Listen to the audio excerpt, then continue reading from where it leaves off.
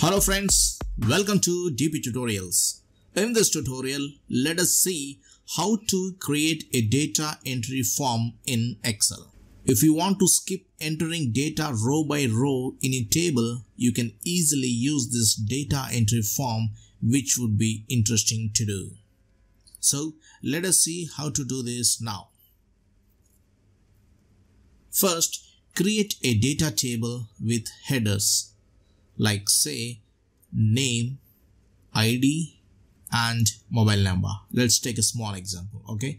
Now go to insert from the menu bar and select table so that you can convert this range as a table range.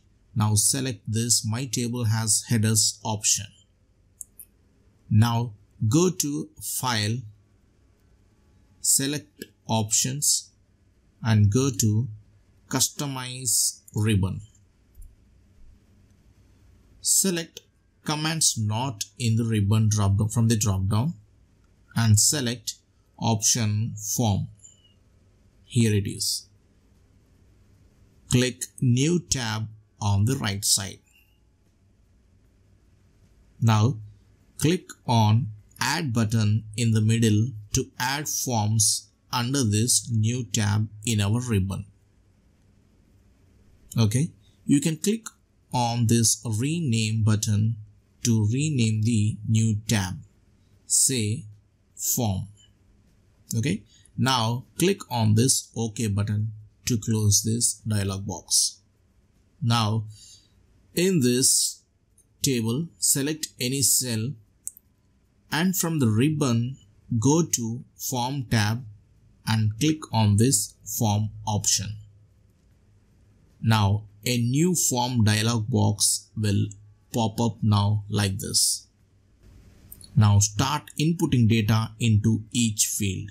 Say name, I'm entering Durga, ID 567 and you can enter a phone number. Now click on new add more row fields. Repeat this process till you are done with all your entries. You can click on this delete button to delete any specific row entry as well in this forms.